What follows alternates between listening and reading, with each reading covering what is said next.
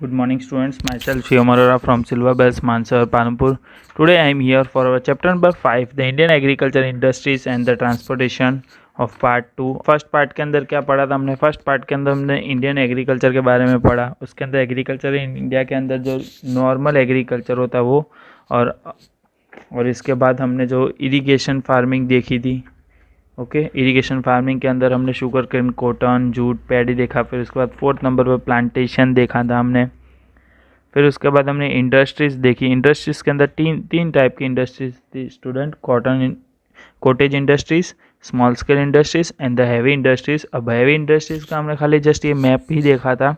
उसके बाद heavy industries के अंदर कौन कौन सी होती है, वो आज हम इंडस्ट्रीज़ देखने वाले हैं स्टूडेंट उसमें से जो फ़र्स्ट हमारी जो हैवी इंडस्ट्रीज़ है फ़र्स्ट है cotton clothes industry what is required to make a cotton cloth अब बेटा कॉटन क्लोथ हमें बनाना है तो उसके लिए क्या थिंग्स रिक्वायर है? वो आपको ये नेट से सर्च करना है और उसका आंसर आपको यहाँ पे लिखना है। मैं आपको एक एक्टिविटी दे रहा हूँ आपके टेक्स्ट बुक के अंदर। The cultivation of which crop leads development of the cotton cloth industries अब बेटा, ये भी क्वेश्चन है आपको। ये भी आपको अपने लिखना है, अपने आप से एक्टिविटी है। Okay the cotton textile industries have developed in India in Ahmedabad Surat Mumbai and Kolkata Coimbatore okay अभी ये जगह पे बेटा क्या होता है? डेवलप्ड इंडस्ट्रीज़ है हमारी, जैसे अहमदाबाद होगी, सूरत होगी, मुंबई होगी, कोलकाता होगी, इस जगह पे कॉटन टेक्सटाइल इंडस्ट्रीज़ है।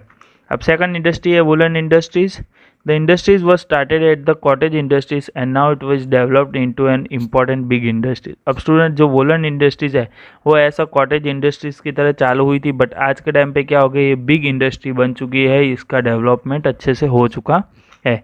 इट इज़ डेवलप्ड इन अभी कहाँ कहाँ पे डेवलप्ड है? पंजाब में। इसका मेन सेंटर पंजाब का कहाँ है? लुधियाना में है। उसके बाद महाराष्ट्र है, गुजरात है।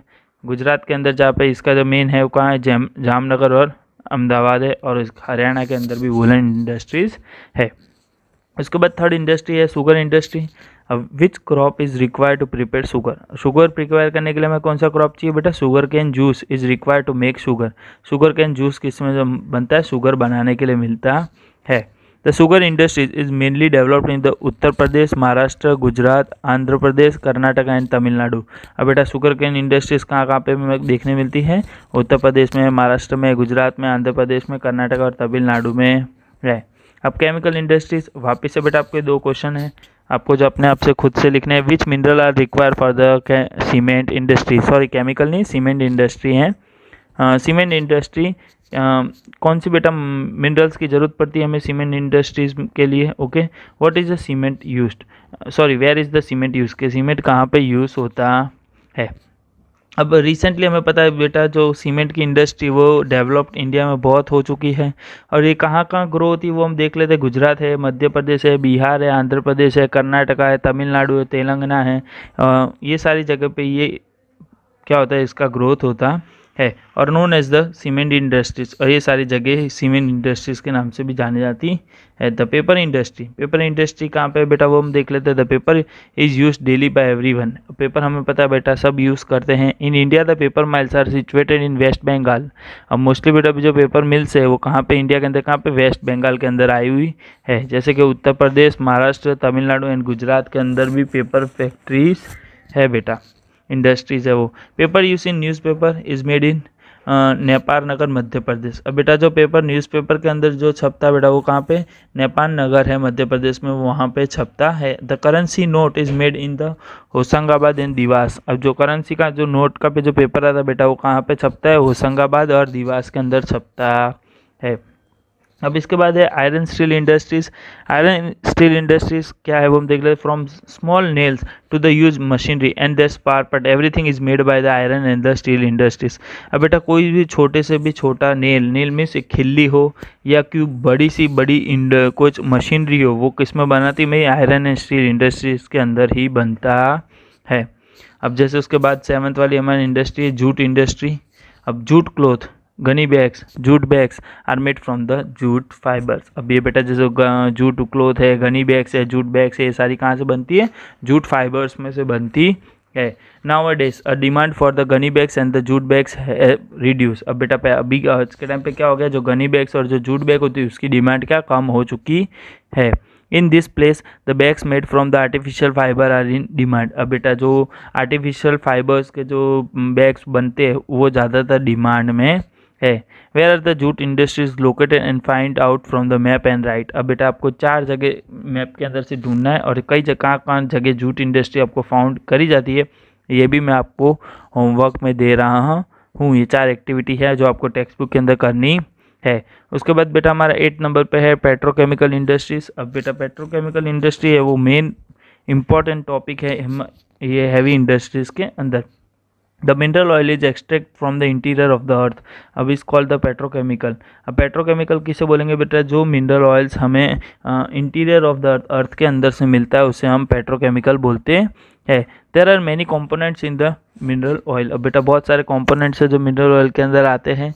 Different components are separated purification to get kerosene diesel petrol tar और कॉल अलग अलग बेटा जो सेपरेशन प्रोसेस होती है प्योरीफिकेशन होता है, उसके बाद हमें केरोसिन डीजल पेट्रोल तार और कोल मिलता है। और ये जो इंडस्ट्रीज़ है, सारी की सारी, वो किस पे? मिनरल ऑयल के ऊपर डिपेंड ही रहती है। द रिफाइनरीज ये रिफाइनरीज कहाँ कहाँ पे है बेटा? वडोदरा है, जामनगर है, मुंबई है, विशाखापट्टनम है, चेन्नई है etcetera are the purifying mineral oils और सारी जगह क्या है? ये प्यूरीफाइंग मिनरल ऑयल्स की इंडस्ट्रीज़ है। The dyeing and the पैरामिस pharmaceutical industries are parts of the petrochemical industries अब बेटा जो डाइंग जो पैरामेस्टिकल इंडस्ट्रीज़ है बेटा, वो पेट्रोकेमिकल इंडस्ट्रीज़ से है। The various chemical soda as petrochemical are produce a part of the dyeing and the pharmaceutical industries बेटा, उसके अंदर जो सोडा है, ऐसा है पेट्रोकेमिकल है, ये सारी चीज़ें किसमें? जो पैरासिटोमेटिकल इंडस्ट्रीज़ है, उसके अंदर से पाई जाती है। Today the chemical fertiliser are used more in the agriculture और बेटा, आज के टाइम पे क्या जो केमिकल फर्टिलाइज़र है, वो बहुत ज़्यादा एग्रीकल्चर के अंदर यूज़ होता है। The chemical fertiliser factories are located at Kalol अभी जो केमिकल फर्टिलाइज़र फैक्ट्रीज है बेटा, कहाँ पे पाई जाती? कलोल में वडोदरा में सिंदरी में मुंबई में गोर गोरखपुर में और दुर्गापुर के अंदर पाई जाती है। Okay okay? अब बेटा आपको यहाँ पे एक नीचे टेबल दिया गया है। Dear children fill in the table given below in the information provide in the lesson and also at the extra information you can industries depend on the agriculture अब ऐसी कौन कौन सी इंडस्ट्रीज़ है जो एग्रीकल्चर पर डिपेंड है वो आपको यहाँ पे लिखनी है? इंडस्ट्रीज़ डिपेंड ऑन मिनरल ऐसी कौन कौन सी इंडस्ट्रीज़ है जो मिनरल पे डिपेंड है, उसका नाम यहाँ पे लिखना है। और industries develop depend on forest वो यहाँ पे आपको नाम लिखना है। ओके स्टूडेंट्स ये जो पेट्रोकेमिकल इंडस्ट्रीज़ का जो टॉपिक था, यहाँ पे फिनिश होता है और आपको इस होमवर्क जो मैंने आपको दिया, वो यहाँ पे करना है। जो हमारा नेक्स्ट टॉपिक है बेटा, वो क्या है? Transportation in India The roads and the transportations are not used by men to transport good from one place to another but also to bring the people near to the each other it helps in promoting the unity of our nation अब बेटा transportation क्या है ये खाली इसलिए use नहीं होता कि हम कोई भी इंसान या कोई भी चीज़ या गुड्स को एक जगह से दूसरी जगह भेज सके बट ये इसलिए भी यूज़ होता है कि जो पीपल है उसके आसपास नज़ीक रहे उससे मिलते रहे उनके साथ में अच्छा से कनेक्शन बना रहे और साथ ही साथ हमारे पूरे नेशन की यूनिटी एक साथ रहे देयर आर द रोडवेज़ में कौन कौन से रोडवेज़ आते हैं बेटा? एयरवे रेलवे वाटरवे इंडिया में तीन वेज है ओके सॉरी चार वे हैं। रोडवे है फ़र्स्ट सेकंड है एयरवे थर्ड है रेलवे और फोर्थ फोर्थ है waterways okay along with name the ropeway are also use अब बेटा उनके साथ साथ जो रोप रोपवे है, वो भी आजकल यूज़ होने लगा है। The pipeline are use to transport liquids जो पाइपलाइन है बेटा, वो किस लिए यूज़ होती है? ट्रांसपोर्ट लिक्विड के लिए यूज़ होती है। अब बेटा, आपको यहाँ पे मैप के अंदर दिया गया है। पूरा रोडवे ऑफ़ इंडिया रहा है as per the record of two thousand twenty two thousand eleven का रिकॉर्ड है। यहाँ पे पूरा के पूरा आप मैप के अंदर देख सकते हो। आपको यहाँ पे देखने मिल रहा होगा। अब स्टूडेंट्स हमारा जो फ़र्स्ट टॉपिक है, जो हमारा जो रोडवे है roadway are the unique features of the nation and are equal beneficial बेटा रोडवे है वो क्या एक यूनिक फीचर है बेटा हमारे लिए और नेशन के लिए और साथ ही साथ इक्वली बेनिफिशियल मीन्स हमारे बेनिफिट के लिए भी है। The road are constructed to connect the villages and provide facilities of transportation to villages अब बेटा, जो रोड्स है वो क्या है? विलेजेस से कनेक्ट है और साथ ही साथ हम उसका ट्रांसपोर्टेशन है, वो भी हमारा विलेज से कनेक्ट रहता है। The road web of the India is the biggest one in the world अब सबसे बड़ा हमें पता है जो सबसे में बड़े में बड़ा जो जो रोड जो वेज आता है, उसमें से कौन सा आता है? रोड वे ही आता है बेटा। जो सबसे बड़ा बिगेस्ट कनेक्टेड है विलेज से लेकर बिग सिटीज़ तक कनेक्टेड होता है।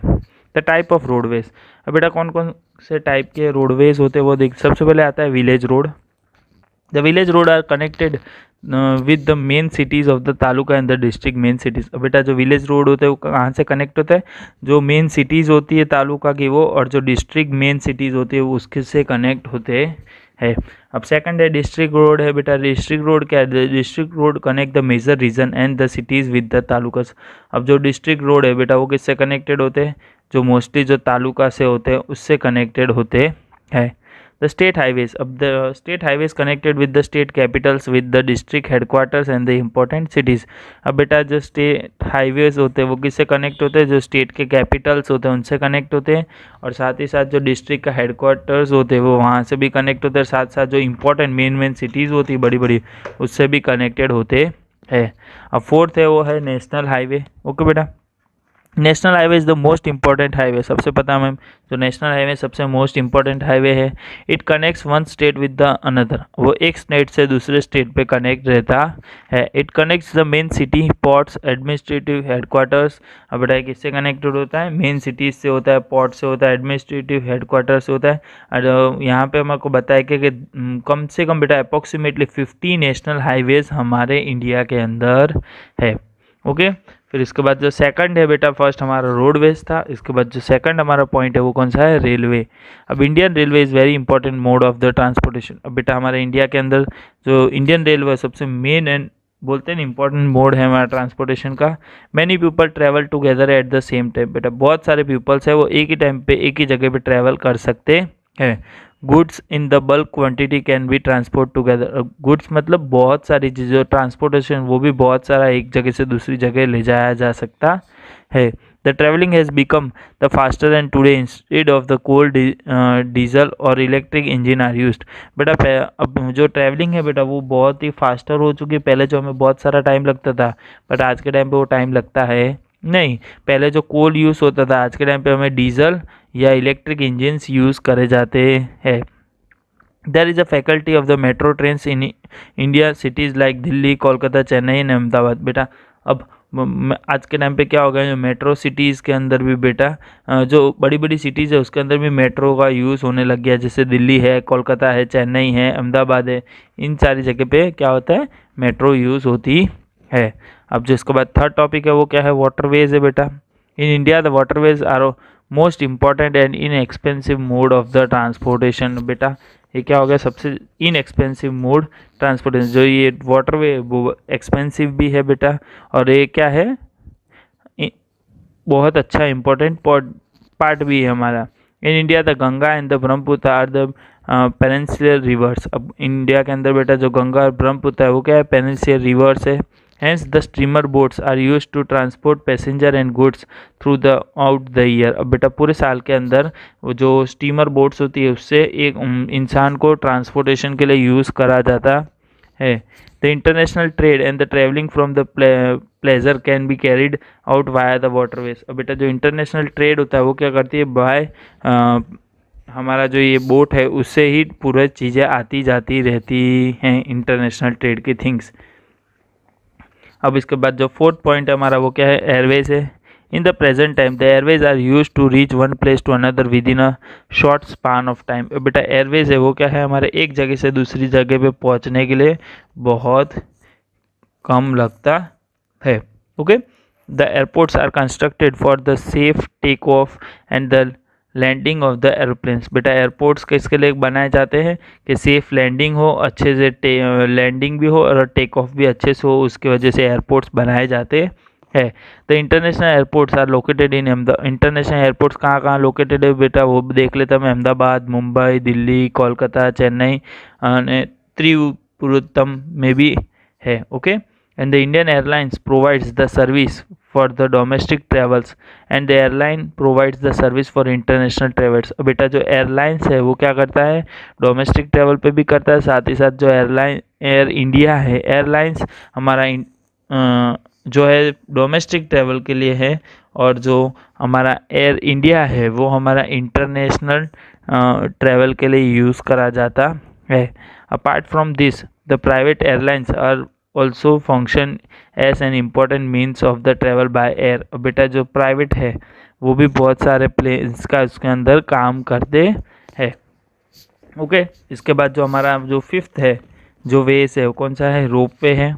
In mountain regions where the roads or the railway can not be constructed then there are the ropeways are constructed बेटा, ऐसी जगह के जो माउंटेन्स एरिया है, कि जहाँ पे हमारा रोड और वो रेलवेज कनेक्ट नहीं हो सकता, वहाँ पे हमने क्या बना रखा है? वहाँ पे रोपवेज बना रखा है। जैसे कि आपने रोपवे बेटा, अंबाजी के अंदर गब्बर में देखा होगा, गिर फॉरेस्ट में है।